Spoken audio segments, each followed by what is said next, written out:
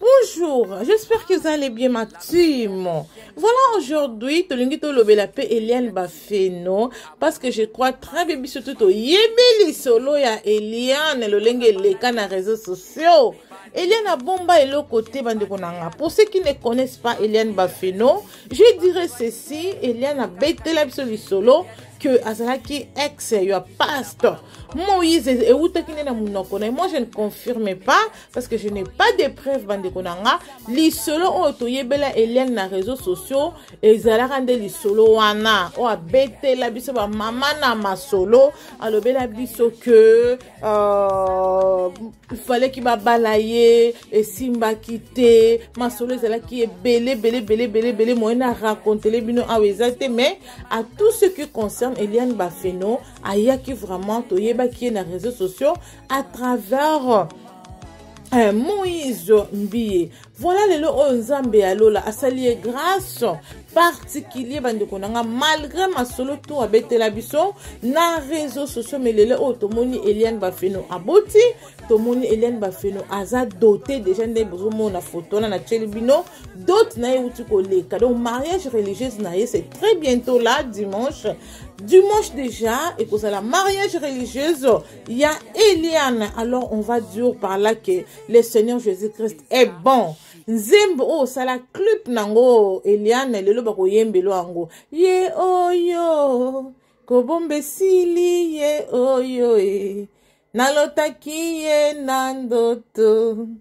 losambo efuti mpe yo eliana Hey, eh, losambo efutaka et en plus on va dire ceci bandeko na nga il faut être patient na eloko nyonso to na vie biso bana basi torevaka kaka torevaka ah ngai nalinga kobala na mobali intel me nzambe amona yo na mobali wana te pourkui kozala presse na vie faut kosatendre ke nzambe apesa oyo ya yo oyo abomba mpo na yo ekozala meilleur ke makanisi na yo parceke soki yo ozokanisa esimbaka te parceke mutu na mutu na se na moi oyo nzambe ya lola aplasela ye mwasi oyo mobali ne ye oyo mobali oyo mwasi ne ye oyo alors faut être toujours patiente okozwa oyo nzambe abongisa mpo na yo lala voilà lelo oyo oh, eliel bafeno azosepela parceke molongani na ye mopanzi ya mopanzi na ye ye oyo esengo te esengo te bandeko na nga malgre masolo tout oyoka ya eliane na reglaka chaque jour nasalaka boye bato ebele bazalaki na illusion kaka ke ah comme problème oyo eliane akóma na yango oyo masolo oyo abetela biso ya minene boye akoki kosimba ata mwana na vie na ye te mais gloire a dieu Eliane aza na bebe. Franchement, je vous dis la vérité, hein. Photo na cheli bino bebe wana aza ya Eliane. Eh, makila ya Eliane, ça aboti. Pona koloba que Jésus-Christ asalaka miracle. Quel que soit biso makambo nyonso toko penser que ndenge lisolo ekeboye seke. Non. makanisi ya nzambe ezalaka ya biso te bandeko na nga ezalaka ya biso te jésus christ azala na makanisi ya oyo ya ye biso bato ya mokili fo tozelaka ata ya nzambe foko tozalaka toujours patiente mpona korecevoir le meilleur kokima mbangu te mpo omoni mobali wana atutisaka yo motema enga eh, mobali wana me aza ya yo te mobali wana obeti motema ye mpe aza na mwasi na ye oyo nzambe abongisela ye yo kokima mbango te parceke soki okimi mbango ekosimba te okoki no mpe kokota libala me okobima parceke aza ya yo te donc dans la vie pour qu'on seuil il faut se m'attendre hein? le temps de dieu temps ya nzambe ekomaka bandeko na ngai temps nzambe ekomaka mpenza mpe soki apesi yo osepeli eh? tala lelo eliana sepeli abali mpe wapi na kisasa te abali na poto mobali ya poto ahonore ye ahonore uh, eliane bandeko na nga abimisi cash deja baparent balie siko dimanche nde ekozala sikoyo benediction nuptiale bandeko na nga bomomona monene ya nzambe lolenge nzambe asalaka makambo na ye yo moto ya mokili okoki kose limite a ah, nga baboya nga yo moko ozomimona ke naza kitoko naza présentable mobali wana ka nde fo abala nga wana makanisi na yo zela oyo ya yo eh? zela oyo ya yo soki aye tu vas te retrouver zela mobali oyo nzambe abongisi ya mpo na vie na yo soki aye tu vas te réjouir na vie akopesa yo bana tala mobali nani kutu alati yo alliance te mais oza deja na bebe benediction oh la la bato ebele mpe lelo oyo na masolo lolenge oyo eliane abetela biso basimba mpe bana te baza ti lelo oyo en plus masolo yango ebetama wapi botuna nga wapi na kati ya social media masolo tu oyo elia na betela biso ya minene bongo bandeko na nga ebetama na kati ya social media me nzambe ya lola atalaka nyonso ya biso te bandeko na nga ye apamboli kaka na social media hey, eh, jésus christ est bon jesus christ est amour bandeko yo nani oluka nzambe te luka ye na likambo no nyonso toza na yango cherche dieu avec ton cœur okorecevoir oyo ozoluka nzambe alola akosaka te a nzambe alola ye fidele nzambe alola ye tamour nyonso tosengaka na nkombo na ye apesaka biso soki osengi na nkombo ya nzambe na bomoi okozwa se kosengaka no na nkombo na ye te Eh, ye moko alobaki tout ce que vous demanderez à mon nom moi votre aide je vous donnerai afin que votre joie soit parfaite mpo lelo lelo oyo eliane mpe afukama akumisa nzambe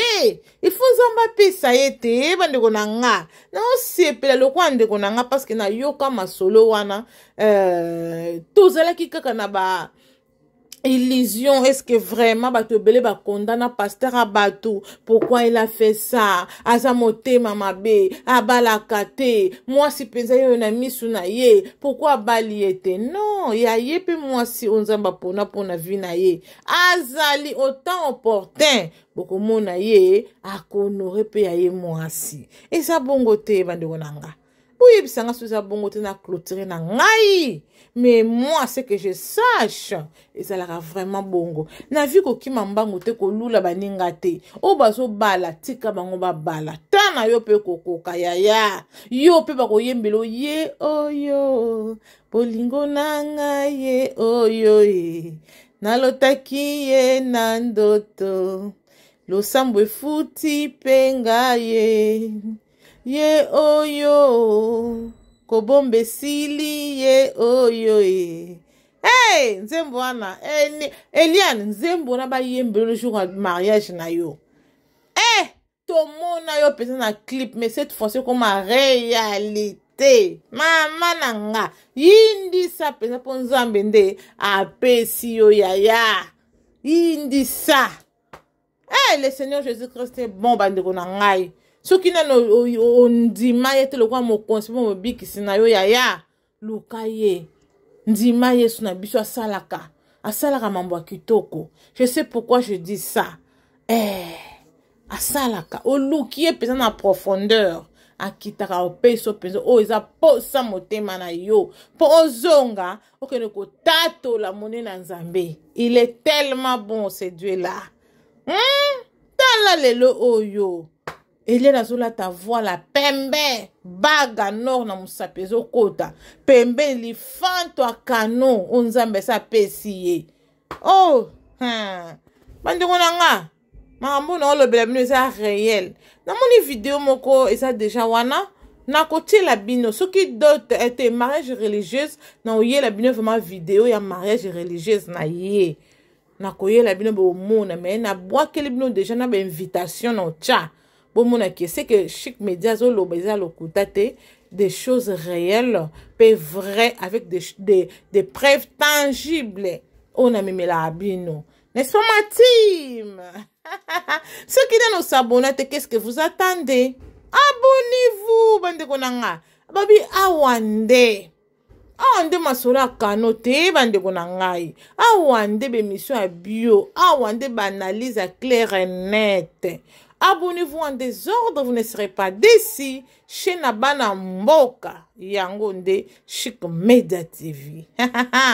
voilà nakomi na nga na suka ya bandeko na nga vraiment tosuki awa tozozela ba video ya mariage religieuse tokoya kopartage na bino voilà je vous dis au revoir déjà à très bientôt hein bobosana te kosabone bobosana te kocliquer sur la cloche de notification pour ne rien rater alors soki ocliquer te sur la cloche de notification okobanda korecevoir bavideo na biso te ou soit ntango chika la live recevoir notification te raison pour laquelle tu insisteras toujours sur la cloche des notifications. Voilà. Je vous dis au revoir. À très bientôt. Bye. See you next time. Bye bye.